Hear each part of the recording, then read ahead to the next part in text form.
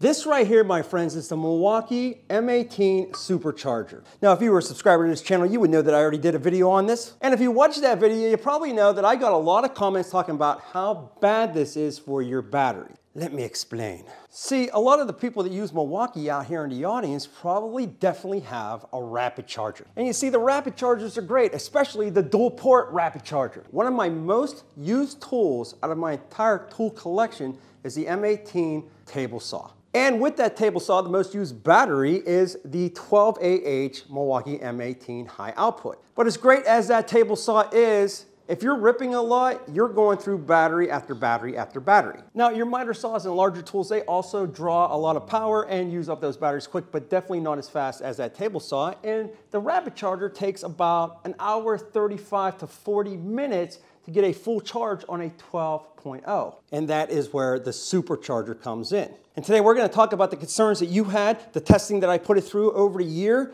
and well, it's a one year later. One year later, should you still buy this tool?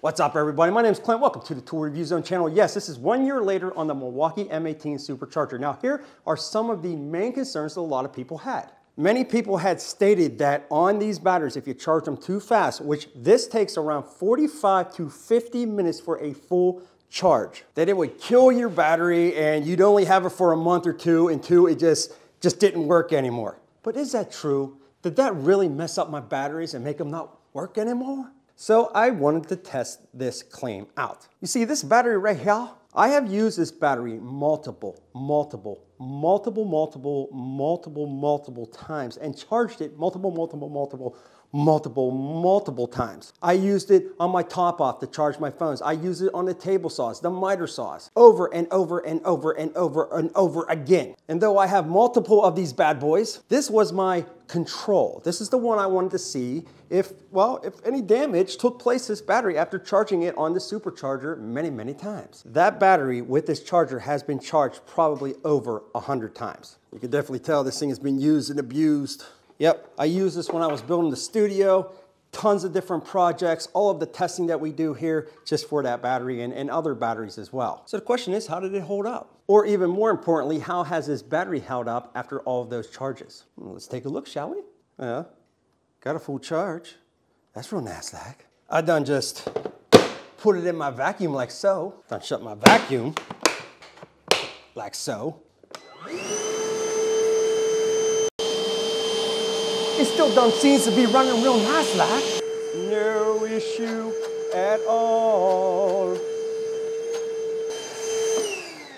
So all I can really say about that is, uh, so all I can really say about that is, what? Now here's the thing. I have never once had any issue with any battery that I have charged over and over again in this unit or batteries that I have used on this unit. This has never given me any trouble at all either. But hold on there for a second. This, my friend, is not great for everything. If you want to use the 12.0s, even the 9.0s, even though there's a lot of hate on the 9.0s, never personally had any issues with them. If you put your standard 5.0s on here, 5AH, whatever you want to call it, or if you want to charge your 12 volt batteries, this will not charge them any faster than a rapid charger. So I will tell you, if you're planning on going out and buying this supercharger just to charge your 5AH batteries, your 12 volt batteries, and just your standard packages, or your standard batteries, batteries, don't buy it. It's not gonna be any better for you, any different than that rapid charger. However, if you are using larger batteries like the 12AH and you're putting them on larger tools like the circular saws, the miter saws, the table saw, then absolutely 100% yes, this is definitely worth the buy. I actually wish there was a dual port here because you know that table saw, it really does draw a lot of energy and drains those batteries down. So if I could switch in between or charge two at a time, well that would be real nice like. As far as this goes with destroying your batteries, I have never had an issue and I told you I had charged that one battery alone over 100 times just to test it out through the past year to see if there was any truth to the claims that this was going to hurt it. So there you go, all. That's your one year later on the Milwaukee IA M18 Supercharger. I want to know what you think. Have you used it before, and what do you think? I guarantee if you use it, it's saving you time if you're using those larger, high output batteries. Now, if this video has helped you out in any sort of way, please don't forget to squeeze that like button. appreciate it. I always appreciate you stopping by. And with that, we'll be back with more videos soon.